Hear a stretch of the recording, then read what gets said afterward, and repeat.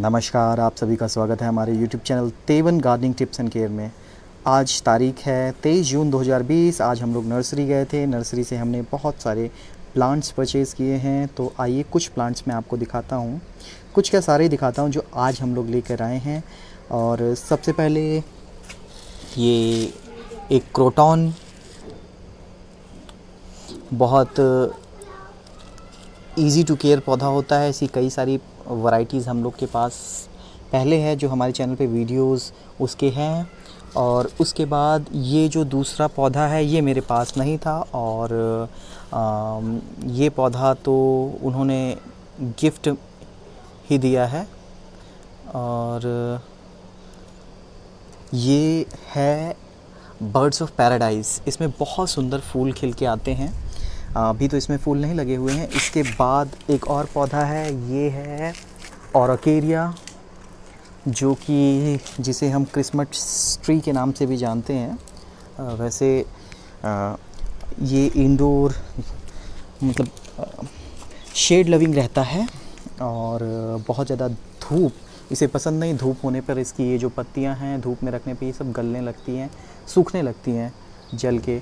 उसके बाद तीसरा जो पौधा है, वो है, ज़्यादातर मैंने इंडोर प्लांट्स ही ख़रीदे हैं। जैसे ये लिपस्टिक एग्लोनीमा जो कि बहुत ही अच्छा इसकी कुछ पत्तियाँ डैमेज हो गई हैं। जो कि बहुत ही अच्छा इंडोर प्लांट है इजी टू केयर है, इसमें कुछ खास आपको केयर नहीं करना होता है, बस आप इसे ज़्यादा पानी ना डालें। ओवर वाटरिंग से ये प्लांट सूख जाता है, ज़्यादा पानी ना डालने से ये प्लांट सेफ़ रहेगा, बहुत अच्छे से खिलेगा। उसके बाद है, एक और पौधा जो है, पीस लिली।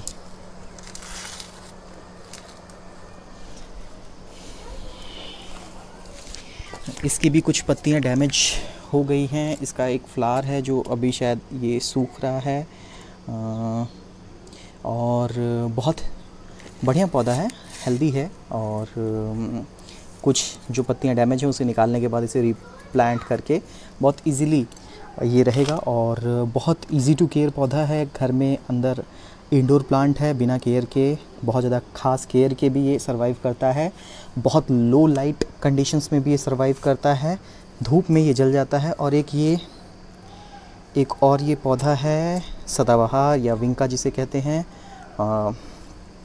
ये जो है, ये मेरे पास इसका देसी वैरायटी है, दो कलर में, एक वाइट और एक पिंकिश कलर जो कॉमन हर जगह दिखाई देने, देता है। ये रेड कलर मुझे बहुत सुंदर लगा तो एक पौधा ये मैंने और ले लिया।